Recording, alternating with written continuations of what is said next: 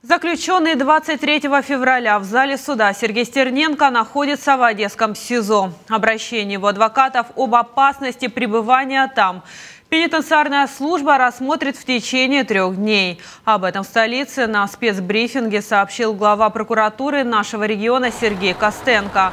По словам чиновника, никто рассмотрение дела о похищении не ускорял. Фемиды обвинения двигались по официальному графику заседаний, а пострадавший появился в суде только в прошлом году.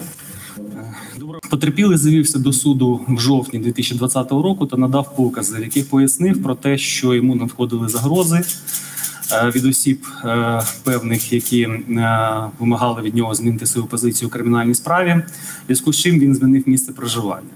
Відповідно, судові виклики, які направлялись на місце проживання, яке було відомо суду, вони до нього не доходили.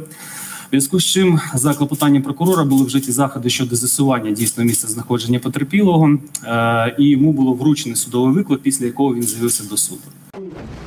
Никаких грубых процессуальных нарушений в областной прокуратуре не увидели, а у защиты было достаточно времени, чтобы подготовить все материалы, заявил чиновник.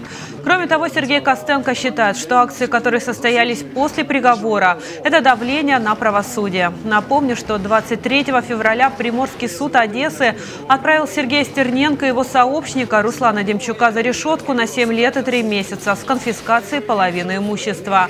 Суд признал их виновными в похищении экс-депутата Коминтерновского райсовета в 2015 году. Вечером после приговора сторонники активиста собрались под СИЗО. Об этом визите на следующее утро напоминали только эти граффити.